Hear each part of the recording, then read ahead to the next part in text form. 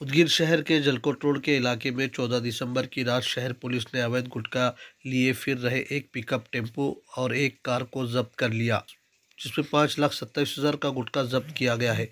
Police द्वारा दी गई जानकारी के अनुसार आरोपी ने tempo number M H four seven Y six three one six और car number M S two four A F five two four three में महाराष्ट्र राज्य में प्रतिबंधित गीतांजलि सागर नज़र गुटखा जलकोट रोड परिसर में कर रहा था।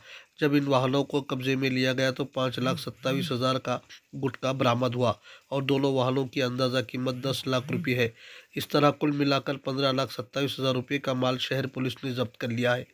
बेसड़ अधिकारी की शिकायत पर उदगीर शहर पुलिस स्टेशन में अजहर पटेल समेत तीन पर पंद्रह दिसंबर को एफआईआर दर्ज की गई।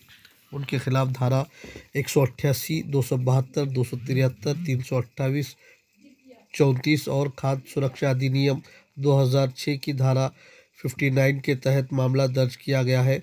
वरिष्ठ पुलिस निरीक्षक परमेश्वर कदम के आदेश पर आगे की जाँच पुलिस उप निरीक्षक जाधव कर रहे हैं।